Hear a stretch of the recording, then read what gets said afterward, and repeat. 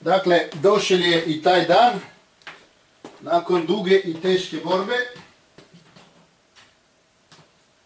Ekipa Super Mario Bros i Luigi su sredili i zadnju ploču. Dakle, ova nam ide ovdje. Jer tak. Onda nam ova ide ovdje. Da vidimo. Ova nam ide ovdje. Luigi mi je pobegel. Ne. Opa.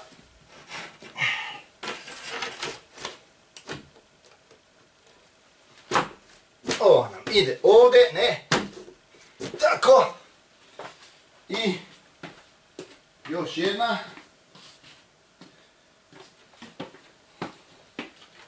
Še ena. Ta bo išla tu.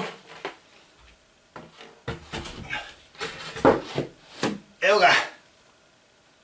I postavljena je i zadnja OSB ploča. To je to. Riješili smo domaću zadaću na oduševljenje svih nas koji smo delali na tome.